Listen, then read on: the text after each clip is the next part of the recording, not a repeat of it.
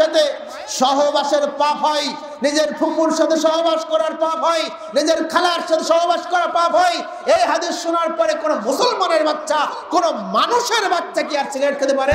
আমি তো রাসূলুল্লাহ সাল্লাল্লাহু আলাইহি ওয়াসাল্লাম ইয়াকুল, আমি আলাইহি ওয়াসাল্লামকে বলতে শুনেছি, আল খামরু উম্মুল ফাওয়াহিশ, আল খামরু উম্মুল ফাওয়াহিশ, মদ সকল পাপের জননী, মদ সকল পাপের কারখানা, নেশা সকল পাপের ফ্যাক্টরি নেশা সকল পাপের জন্মদাতা আকবরুল কাবায়রে এবং সকল বড় বড় কাবিরা গুনাহের একটি অন্যতম কাবিরা গুনাহ।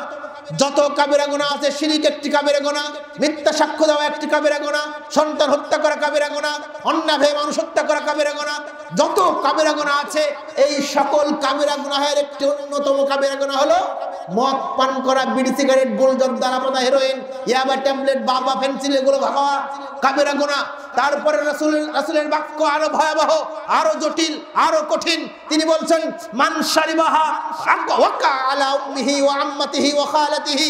যে ব্যক্তি মদ পান করবে, অর্থাৎ বিড়ি, সিগারেট গোলজব দানাপাতা হেরোইন বাবা ফেন্সিডিল, ইয়াবা ট্যাবলেট খাবে। তিনি বললেন, যারাই খাবে, যতটুকু খাক না কেন, তারা যেন নিজের মায়ের সাথে জিনায় লিপ্ত হলো, সেরা যেন নিজের ফুপুর সাথে জিনায় লিপ্ত হলো, তারা যেন নিজের খালার সাথে জিনায় লিপ্ত হলো। এই হাদিস কখনো? কিন্তু হাসান হাদিসটিকে বলেছেন। হাদিস কখনো হাদিসটি?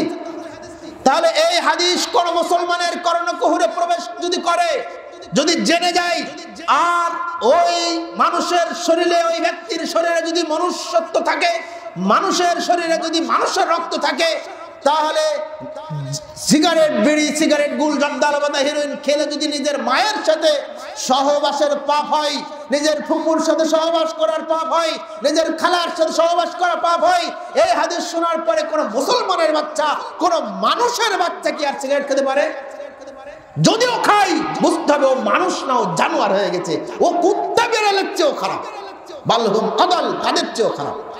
আপনি কিন্তু মুসল্লি।